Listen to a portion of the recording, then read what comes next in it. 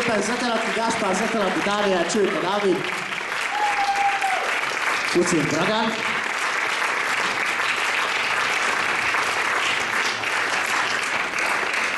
Egy, egy mohácsi nagykólót hallottunk, ez is igazából magyarországi-szerű ö, tamburazene.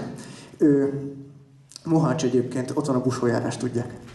És ö, ott általában ilyenkor hatalmas parti van. Tehát úgy szokták, hogy ö, beállnak, ö, nagy térre, gyújtanak egy hatalmas nagy tüzet, mindenki, akinek hangszer van, az beszáll a kólóba, mert ez nagyon egyszerű igazából ö, a szerkezettel, úgyhogy mindenki be tud szállni, ugyanis tulajdonképpen két akkord váltakozik, és emiatt lehet ilyen jóságokat tolni, ahogy mit csináltuk most. És hát Mohácson ezt, ezt mindig tolják, és nagyon, nagyon nagy buli szokott lenni.